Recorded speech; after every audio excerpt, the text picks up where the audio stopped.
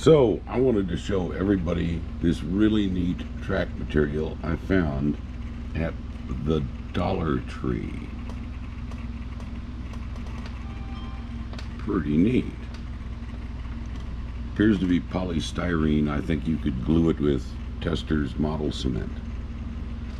But what I have made here is a little tiny joust track on my bench top. You can see a regular Hot Wheels car there. That's a stripped slot car for experimental purposes.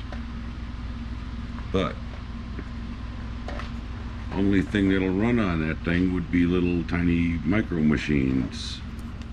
And boy, it would sure be nice if we could find them someplace. Let me work on it.